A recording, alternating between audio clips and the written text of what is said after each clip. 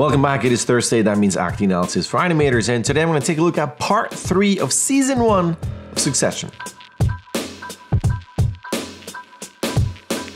As always, good stuff to look at. So why waste time? Let's get straight into the sequences. And first up, we have this where he. oh, you have to laugh. He's just so good. He's asking, so how is her father doing? And the help, she is the nurse. She's taking care of the father, and I love her looks. This is all about her looks and the pantomime and the unspoken words. So if you look at, so how is he? Oh well, you know. She goes, oh, you know. I love this. I love all of the, the lead up. That the face. You got the basically she's looking kind of her a little bit, switching over. You got the beginning with the eyebrow lifting and then kind of like, oh, well, you know, so now it becomes just a complete lie, like, oh, well, you know, then I'll awesome shrug, and then with that slight smile, she does make some sounds and she says, well, you know, you know. But it's great. It's a great little moment that would work without the lip sync as well. It's just such a great expression. And to that, she says, well, actually, we don't know. And then he says here, well, we heard about the sock. Basically, he is old and frail, but he was able to put on a sock by himself. And I love her reaction, where it's just kind of, yeah, uh huh, right. Oops, gotta go.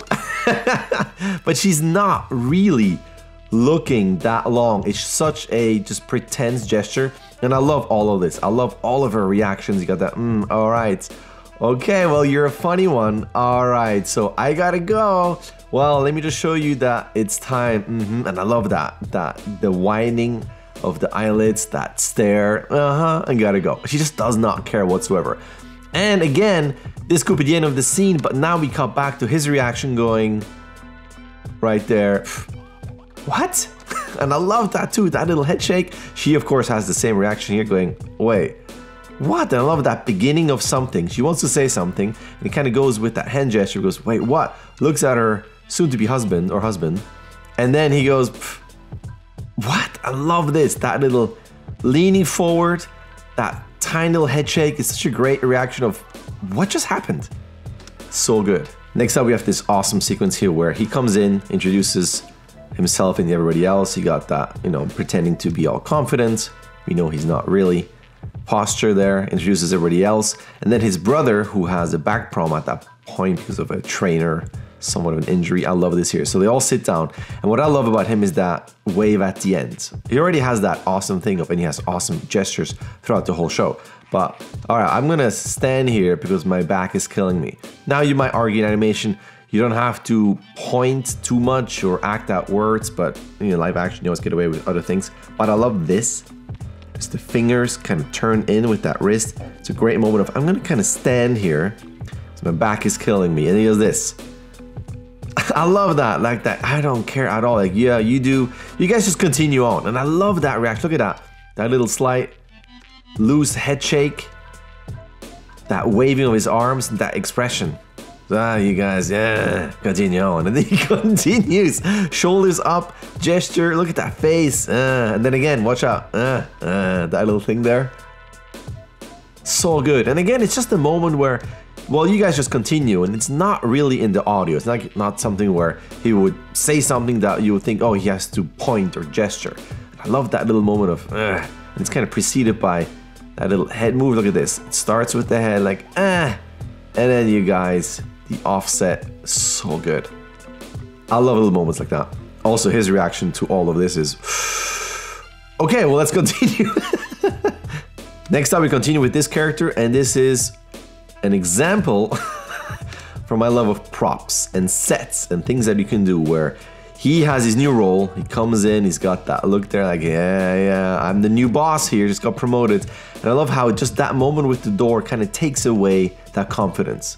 Oh, well, I guess, not that he cares, but you can use this to your advantage, where maybe a character really tries really hard to be confident and to be seen as confident, even though he doesn't feel like it. And then you get a moment like this that will potentially push that character into uh, not a breakdown, but something where it's much more exaggerated. Oh no, I did this, and I already can see that I'm not confident and all that good stuff.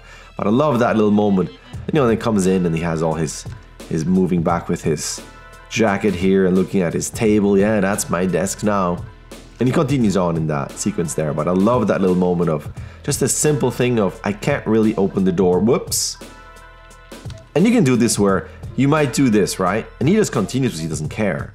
But in your case, you can use this as an idea and then he would stop, he would look around. Maybe some people that are working back there would look up at him and maybe smile, maybe do nothing, and he would have a nervous look and then come back. And then from now on, all of his confidence is gone and all the other moves for instance a walk like this would then be a lot more nervous you could use this for instance but he would fill around maybe with a tie or something and all that filling and that nervous and moving around would be the contrast where you start in a confident way and then because of this now you're much more nervous and again, something about confidence and a prop. They are brainstorming, and Kendall is on the table. I don't know why he took his shirt off, but he is on the table and they're brainstorming, oh, we can do this, we can do that, and maybe you can use this as he's elevated. Not to be able to talk down to other people, but it elevates him, it gives him confidence, He's, he has a higher ground, he can look down upon all the problems that he has. But the reason why I'm showing this because, well, everything's okay now, we gotta talk to our dad. And he doesn't like that, and that's that moment of, oh, right. And now what he does is, hmm, okay, okay, okay. And then he steps down, and then the shot continues where they do their thing. But again, you can use a set piece where the character is on it and is standing on it for whatever reason to feel better, to look down upon their minions or whatever it is, but that elevated position can be used for some acting reason. And then you got the contrast and the change and the emotional change and the headspace change and everything where it goes, hmm, it's a bit of a problem and now he's not so confident and then you can visualize that by having him or her step down from the table the chair whatever that character is on but i like those i like those elements where since you have a character in a set and you have chairs and a table or whatever you have if you already put that into your scene then maybe use that to your advantage where you use that to elevate a character metaphorically symbolically however you want to but this these are all great moments and great opportunities to use for your acting moments in your, in your scene or your sequence.